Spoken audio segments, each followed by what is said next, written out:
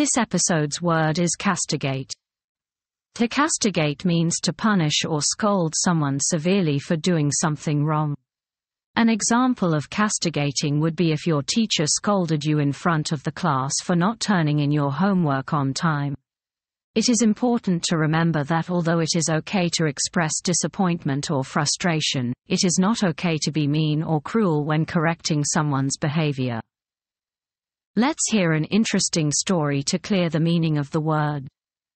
During the Salem witch trials in 1692, those accused of being witches were often castigated in public.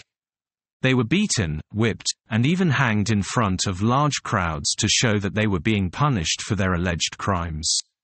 Mary Bradbury was one of the accused who managed to escape such a fate, but even she was castigated by being isolated from her community and forced to live in hiding.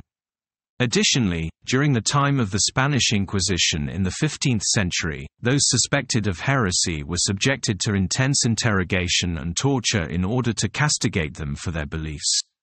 The prisoners were often forced to wear heavy chains, starved, and beaten in order to force them to confess.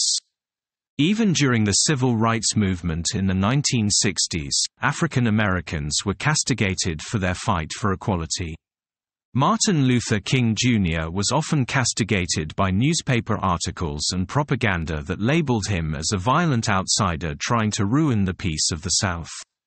The word castigate means to punish severely or criticize harshly, especially in a public setting. We hope you enjoyed the episode, and the meaning of word castigate is crystal clear. Do subscribe to our channel for more such episodes. Thank you for listening.